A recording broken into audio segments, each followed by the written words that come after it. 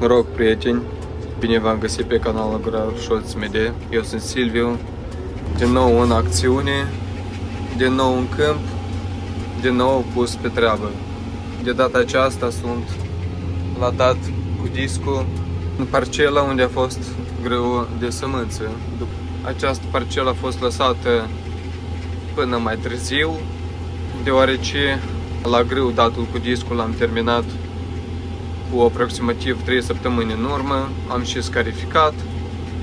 După lucrările astea am mers pe terenurile unde au fost rapițe, am dat acolo cu discul.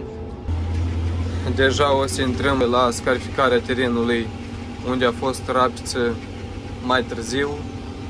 Noi mergem pe metoda asta, nu scarificăm acolo unde a fost rapiță după ce am recoltat, doar dăm cu discul ca să încorporăm resturi vegetale în sol, să le sfărâmițăm și după asta, pe la mijlocul lunii septembrie, pregătim sau scarificăm terenul pentru a-l pregăti la primăvară de a fi semănat. Astăzi este data de 18 august. Am lipsit puțin deoarece am fost într-o mini-vacanță de o săptămână, dar lucrările au mers datorită fratelui și tatălui meu. Tatăl meu a dat cu discul, fratele meu a scarificat și așa lucrurile nu au stat pe loc. Datorită lor am terminat anul acesta lucrări de pregătire mai devreme. O să mă dau jos puțin după ce termin parcela asta, nu mai am mult. O să mă dau jos ca să arăt cum arată cultura de porumb și de floarea soarelui la noi. După cum bine știți și după cum se observă, porumbul nu este chiar într-o stare bună, deoarece de aproximativ două săptămâni nu a plouat. Nu știu cât o să mai reziste porumbul, ăsta nu este la mine. Țin mai încolo, o să mă dau jos și să vă arăt. Sper să avem o recoltă bogată, dar după temperaturile care se arată, sunt slabe șanse. Haideți că termin această parcelă și o să mă dau jos, o să vă arăt și vouă porumbul de acolo la 50 și floarea de încolo la fel la 50 semănată. O să vă arăt și vouă. Așa că revin cu detalii. După cum am promis, o să vă arăt și puțin floarea soarelui la noi și cam Așa arată floarea soarelui la noi. E și plină, după cum o văd.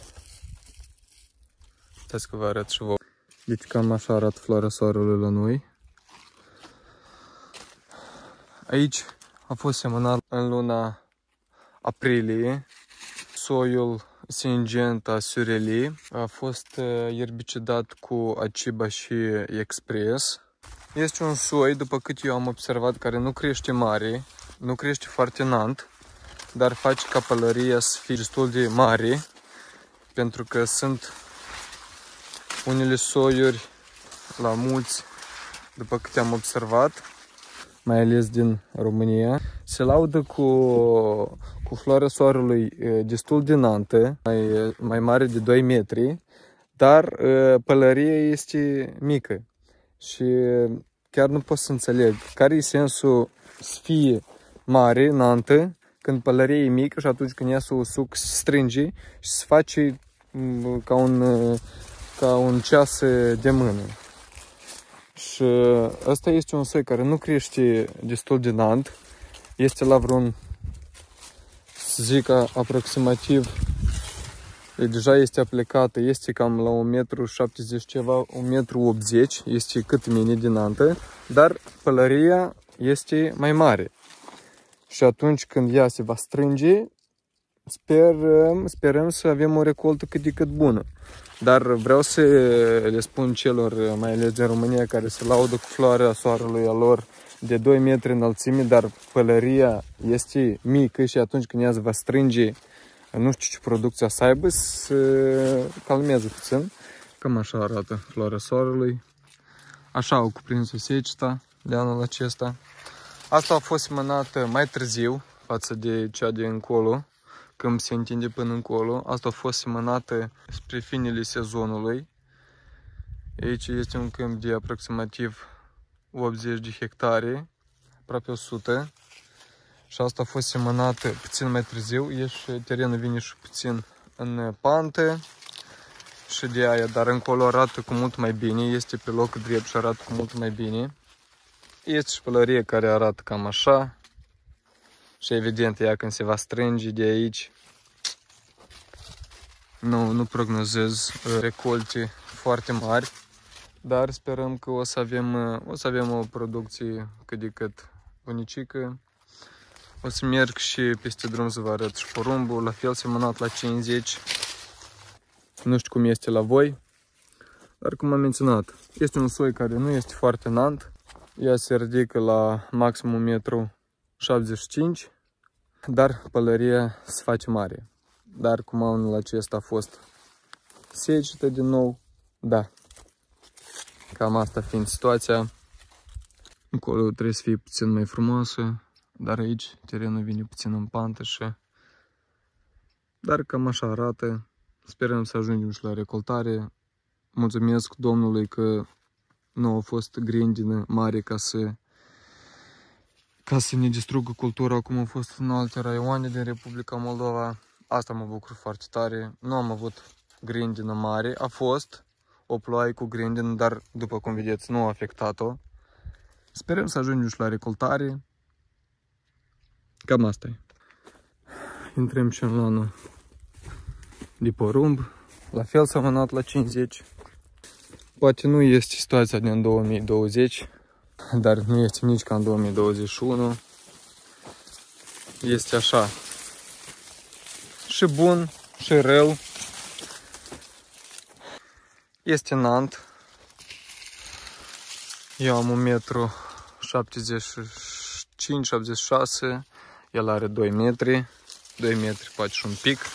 Uitați-vă și voi. Primele frunze deja sunt uscate. Primele frunze, până la jumătate frunzele sunt uscate, dar chiar sus.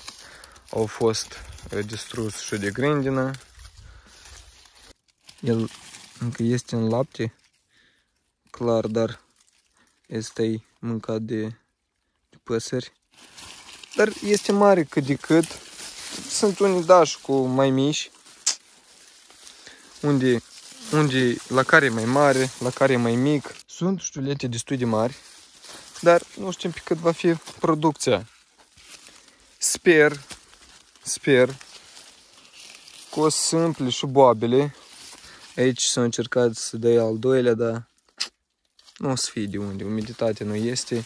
Și înainte de ploaie cu grindină a fost și, și secetă.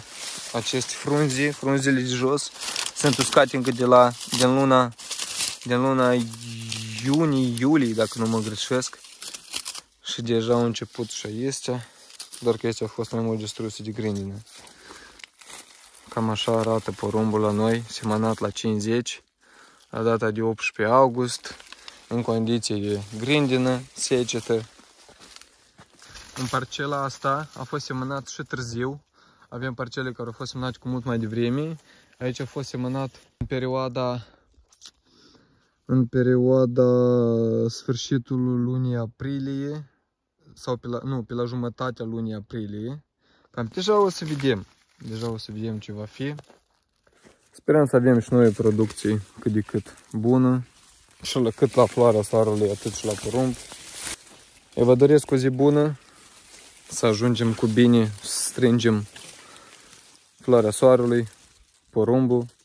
Eu am fost Silviu, vă doresc o zi bună, doar succese și să ne auzim la semănatul de rapță, după aceea la uh, la recoltarea de porumb, de floarea soarelui și vă doresc uh, numai bine. Ceau!